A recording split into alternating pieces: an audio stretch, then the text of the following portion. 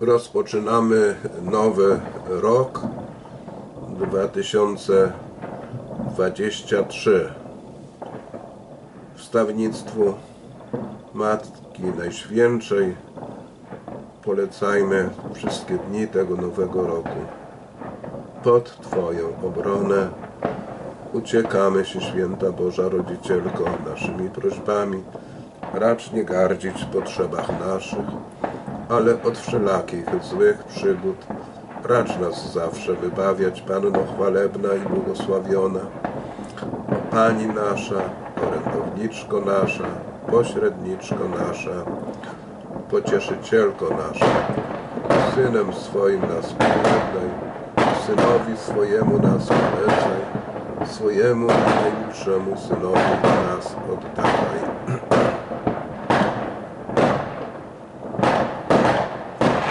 Niech Bóg nam błogosławi na nowy rok.